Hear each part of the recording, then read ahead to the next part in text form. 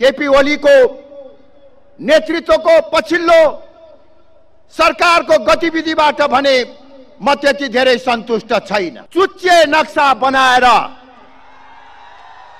त्यसलाई संविधानमा संस्थागत गरेर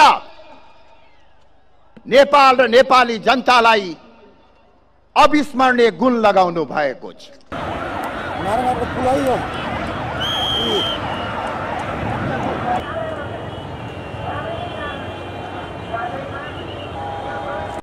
केपी ओलीको नेतृत्वको पछिल्लो सरकारको गतिविधिबाट भने म त्यति धेरै सन्तुष्ट छैन।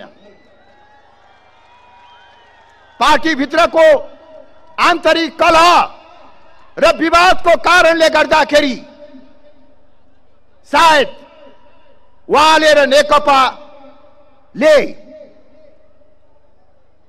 जनतालाई दिएको आश्वासन अनुसार काम गर्न सकेन।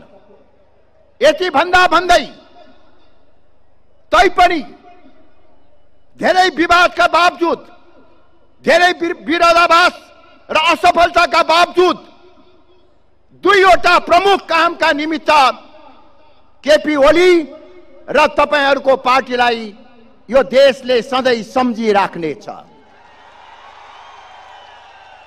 पहिलो काम मधेसमा देखा परेको पृथकतावादी आन्दोलन र विप्लव माओवादीलाई शान्तिपूर्ण राजनीतिक मूलधारमा ल्याउने काममा तपाईँहरूले महत्त्वपूर्ण योगदान पुर्याउनु भएको छ। र सबैभन्दा महत्त्वपूर्ण कुरा केपी ओलीकै नेतृत्वमा लिम्पिया धुरा समेत समेटेर नेपालले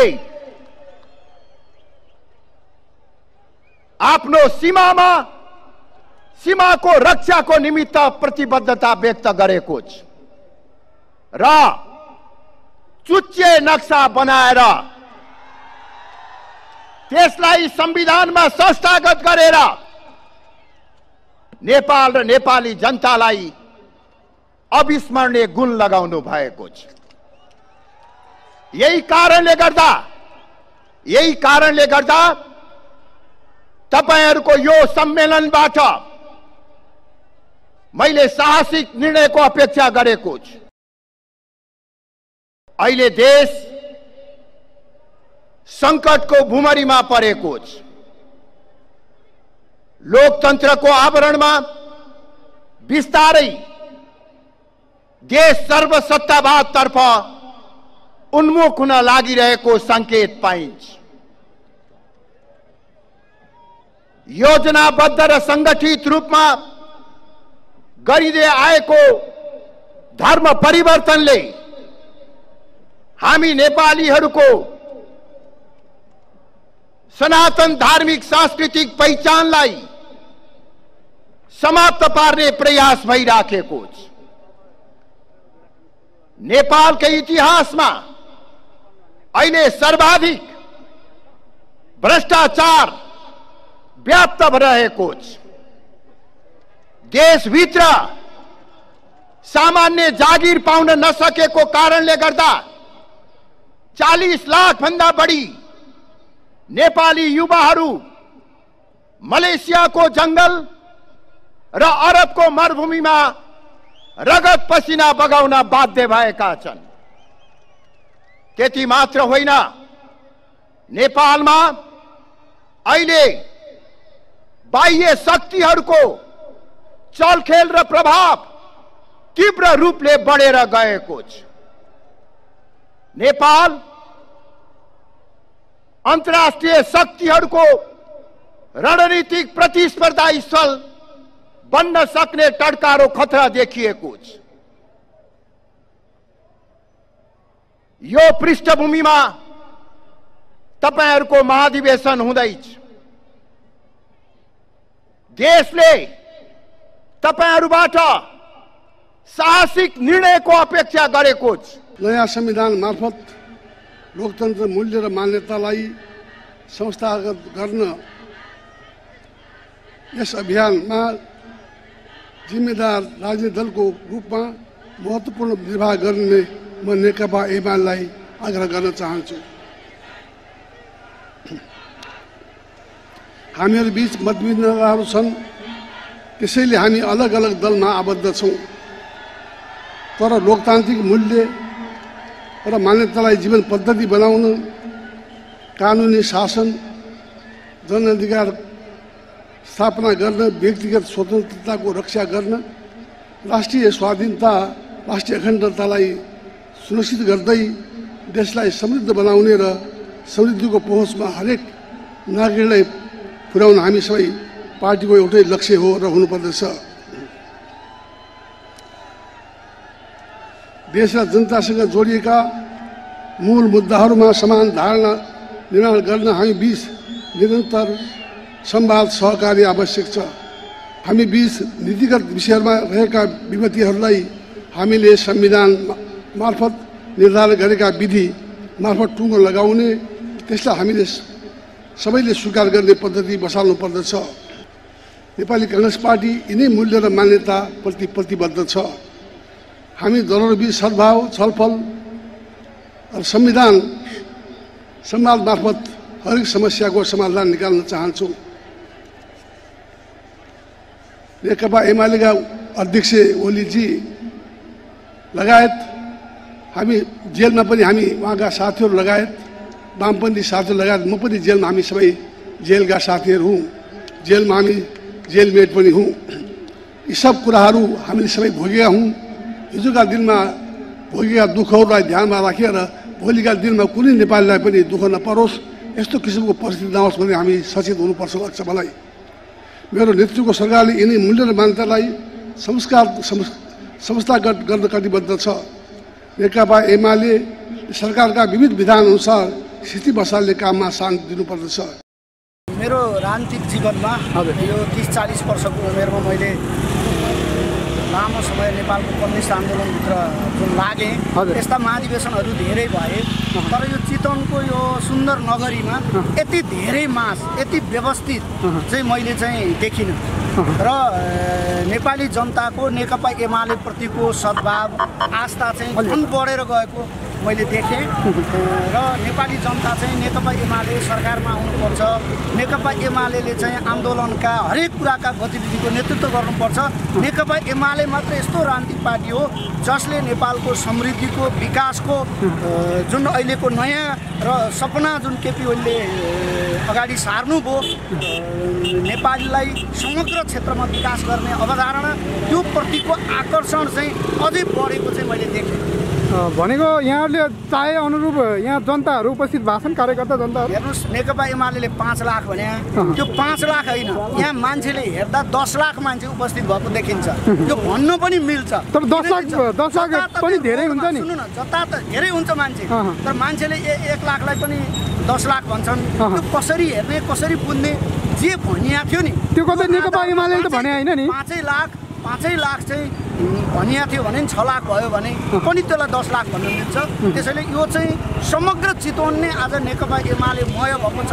नेपालको कम्युनिस्ट पार्टीहरूको एउटा केन्द्रको रूपमा नेकपा एमालेलाई हेरेको प्रजातान्त्रिक रूपमा एउटा सशक्त पार्टी भनेर देशभक्तिपूर्ण आन्दोलन गर्ने पार्टीको रूपमा चाहिँ नेकपा एमाले र त्यसको श्रद्धेय नेता केपी ओलीलाई हेरेको देखियो। जताततै मान्छेले केपी बा केपी बालाई हेर्न पाउन पाए हुन्थ्यो। कहाँ हुनुहुन्छ भनिरहेको रोडमा चाहिँ सबैले बोलिरहेको चाहिँ हामीले सुन्न पायौँ।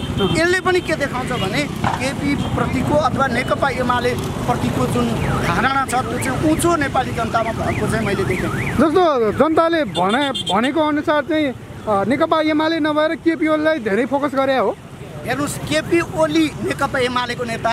अनि नेकपा एमाले केपी भन्ने चाहिँ आज बनिया छ। त्यो चाहिँ जति विरोध भयो नि केपी प्रति नचाहिँदो ढङ्गले जति विरोध भयो त्यति नै जनताले पनि केपी गौडप्रति अथवा नेकपा एमालेको श्रद्धेय अध्यक्षप्रतिको श्रद्धा बढेको देखियो। तर अलिकति व्यवस्थापनको कुरा गरौँ। यो यत्रो रोड अस्तव्यस्त भइरहेको छ पूर्व पश्चिम राजमार्ग ठप्पै छ। एम्बुलेन्सहरू पास गर्न पाइरहेको छैन होइन? यसलाई चाहिँ व्यवस्थापन अलिकति भएन कि भन्ने छ नि? यो व्यवस्थापन गर्ने सरकारको कुरा हो। सरकार र मुलुक अस्तव्यस्त छ अव्यवस्था छ। त्यसै कारणले तपाईँहरूको सुरक्षा कर्मी पनि खटिन धेरै खटिया भन्नुभएको थियो नि। होइन? कार्यकर्ताले अथवा स्वयंसेवकले गर्ने कुरा एकातिर हो भने राज्य संयन्त्रमा बस्ने भोलि नेकपा एमाले रहे पनि अरू रहे पनि राज्य संयन्त्रमा बस्नेले व्यवस्थापन गर्ने फरक कुरा हो। त्यसैले यो राजनीतिक पार्टीले मात्र भोलि काङ्ग्रेसले गर्ला माओवादीले सभा गर्ला त्यसले मात्र व्यवस्थापन गर्दैन। यो त राज्यको राज्य संयन्त्रमा भएको मान्छेहरूको हालत के हो भन्ने कुरा पनि यसले देखाउँछ। यो नेकपा एमाले मात्र नेकपा एमालेका कार्यकर्ताले गर्ने भन्ने कुरा र राज्य संयन्त्रले गर्ने र हिजो लामो समयदेखि बन्दै आएको नेपालको संयन्त्रहरू छन् सञ्चालनका विधिहरू त्यसलाई उजागर गर्ने कुरा हो भन्ने मेरो बुझाइ छ। अन्त्यमा चितवनबाट के सन्देश दिनुहुन्छ? चितवनबाट के सन्देश? लिएर जाँदै हुनुहुन्छ। चाहन्छु अथवा यहाँ नेपाली जनताले के दिइरहेको छन् भन्ने मैले अगाडि पनि कुरा दोहोऱ्याएँ। नेकपा एमाले छिटै सत्तामा आउँछ। नेकपा एमाले मात्र मुलुकको सबभन्दा राम्रो सक्षम व्यवस्थित र क्रान्तिकारी र राष्ट्रभक्ति पूर्ण आन्दोलन बोकेको विचार बोकेको पार्टी हो भन्ने कुरा चाहिँ यसले सन्देश दिन्छ भन्ने कुरा चाहिँ म राख्न चाहन्छु। हस् यहाँ बाटोमा हिँड्दै गर्दा अलिकति समय दिनुभयो धेरै धेरै धन्यवाद। कहाँबाट आउनुभएको हजुरहरू भरतपुरबाट कहाँ कोसी ग्यासको कति भयो यहाँ जाम बसेको? दुई घन्टा। भयो?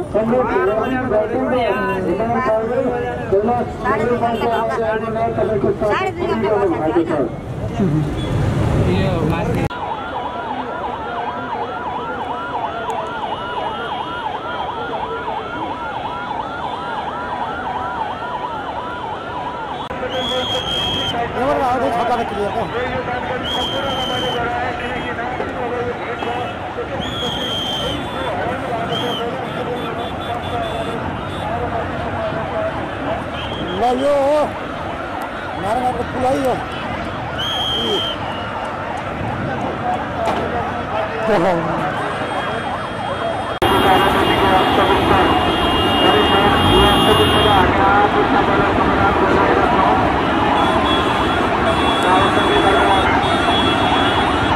साथी होइन ल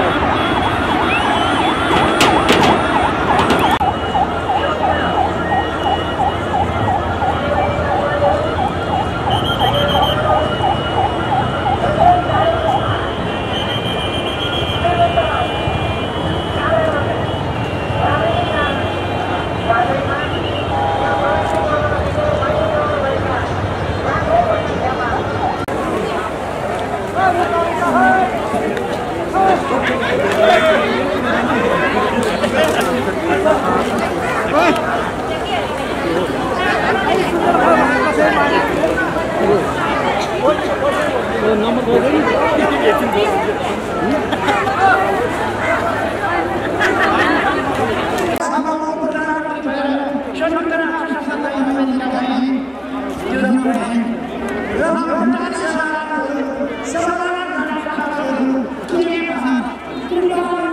नारायणको पुलै